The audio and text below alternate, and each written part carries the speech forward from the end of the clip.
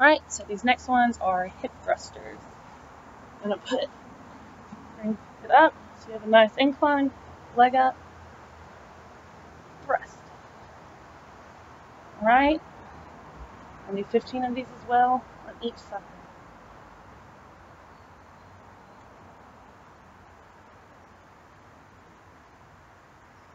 Alright, next leg. Just make sure you're always ending in that straight pattern. Everything's tight.